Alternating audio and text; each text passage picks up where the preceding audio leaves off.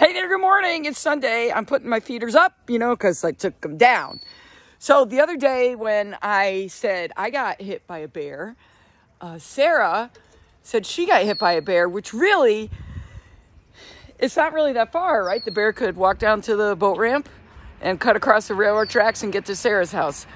But I don't think it was the same bear that my brother Scott said he saw and got a few pictures of. Now, it looks kind of the same as size as the bear I had, and maybe Sarah had.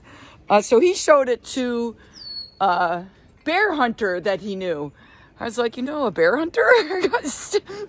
and the bear hunter said, you know, 350 to 400 pounds. And I'm like, you think that bear is four times bigger than Hawk?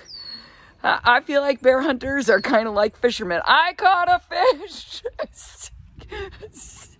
yeah, no. I mean, maybe I'm not a bear hunter. And then he showed it to another bear hunter he knew. I think he knows three. And I'm like, whoa, isn't that interesting? I don't know any, but good for you, Scott. Uh, so maybe three to 400 pounds. I don't know. Uh, so today is uh, Stephanie's birthday. And unfortunately, she had to hopefully just postpone her trip to Miami so we're going to bring a little brightness to her birthday the best we can because everybody deserves a great birthday celebration, right?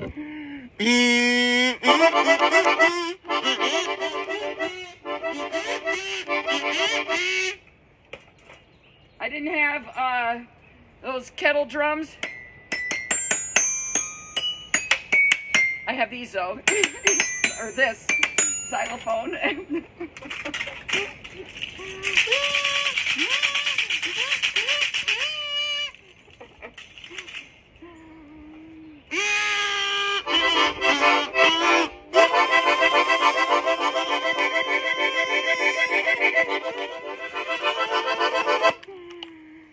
very special, bright and sunny shout out to Steph. I hope you have a great birthday and I hope you can reschedule your trip to Miami. Uh, today's weather, overcast and some weather rolling in and we'll see what that weather looks like. You know what I say. Get outside, do something fun. I'm out. Bye-bye.